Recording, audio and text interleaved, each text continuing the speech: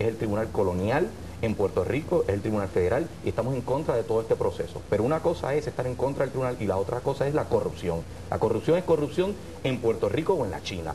Y si hay unos casos de corrupción, nosotros entendemos que se tienen que estar investigando. Y aparentemente hay unas acusaciones muy serias que se han querido estar minimizando de parte de la publicidad de, Fortaleza, tratando de decir que no es algo importante, que no es serio, cuando realmente son 19 acusaciones serias que se tienen que tomar en consideración y que en Puerto Rico deberíamos estar haciendo algo al respecto, que no deberíamos estar dependiendo de que en Estados Unidos se tomen esas determinaciones y que otras personas estén buscando lo que está ocurriendo.